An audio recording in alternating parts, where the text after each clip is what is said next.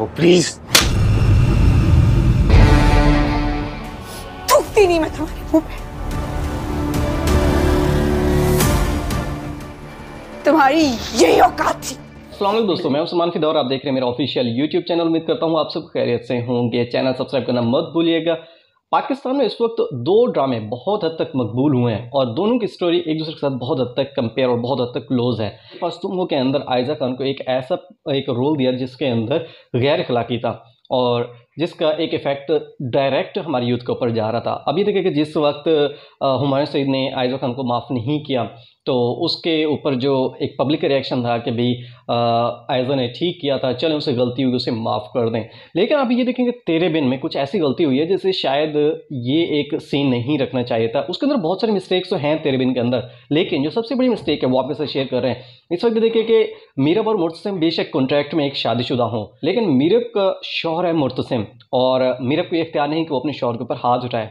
हाथ उठाने के बाद जिस तरीके से उसके चेहरे के ऊपर थूकती है, ये बहुत हैरान कन है? अभी देखिए कि हमारे यूथ के ऊपर एक डायरेक्ट एक इन, एक डायरेक्ट हमला हो रहा है उनके जहन के ऊपर। ये पाकिस्तानी ड्रामे जो है फैमिलीज़ के अंदर देखे जाते हैं। फैमिली को एक एक साथ बैठ कर ये ड्रामे देखती है। और जिस तरीके से उनके ऊपर एक असर हो रहा है, वो बहुत एक बुरा तासर जा रहा है। अब जिस तरीके से मीरब और मोरसम की शादी बहुत तक बेशक ये तो देखे जा रहा है कॉन्ट्रैक्ट पर है, लेकिन जिस तरीके से एक बीवी अपने शौक से बदतमीज़ी करती है और जिस तरीके से उसका थप्पड़ मारना, फिर उसके ऊपर थूकना, ये बहुत एक बुरा इमेज जा रहा है हमारे माशरे के अंदर। और इसके बावजूद हमारे जो कैमरा हैं, हमारे सेंसर बोर्ड हैं, वो इसके ऊपर बिल्कुल भी कार्रवाई करने के लिए तैयार नहीं है। अभी देखिए कि मेरे पास तुम को जो एक लॉन्च करने वाले थे, वो एयरवाई थे और इसको जियो टेलीविज़न थे, लेकिन इन दोनों के खिलाफ किसी ने कार्रवाई नहीं की। जो सीन्स थे वो बहुत तक गिरे हुए थे।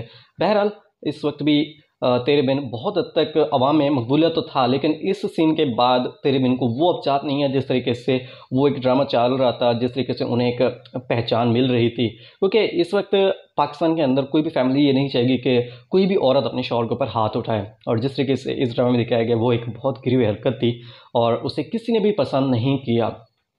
और बेशक ये शादीशुदा थी और जिसके बाद मुर्तसिम का एक रवैया, जिस तरीके से उसके साथ, वो सब कुछ करना जो शायद हम एक्सप्लेन नहीं कर सकते आपके साथ मीरब के साथ जैसे मुर्तसिम ने किया, ये एक मियाँ बीवी का एक हक होता है।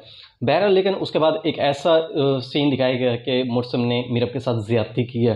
हालाँकि देखिए मियाँ बीवी के दरमियान में ये चीज़ ज़्यादती कभी नहीं होती, क्योंकि इस ड्रामे में कुछ ऐसी कन्फ्यूजन्स जो शायद ड्रामा लिखने वाले को भी सोचना चाहिए था कि इन दोनों के जो एक रिश्ता दिखाया जा रहा है लेकिन उसके अंदर ये सीन्स का आना बहुत एक गलत तासर दे रहा है और ख़ासतौर पे हमारी यूथ के ऊपर।